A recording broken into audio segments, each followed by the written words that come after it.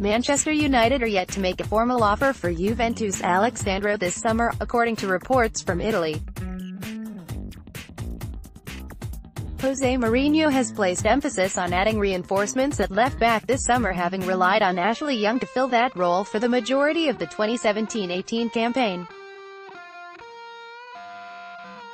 The 55-year-old views Sandro, who has impressed since joining Juventus in 2015, as his main target in that role, with Danny Rose, Ryan Sessegnon and Fauzi Ghoulam mentioned as other options. But according to Italian media outlet Calcio Mercato, no formal offer for Sandro has been made by Man United, who have, according to Gianluca Di Marzio, wrapped up the transfer of Fred from Shakhtar Donetsk for £44 million on Thursday. Out of nowhere, United's transfer window has exploded.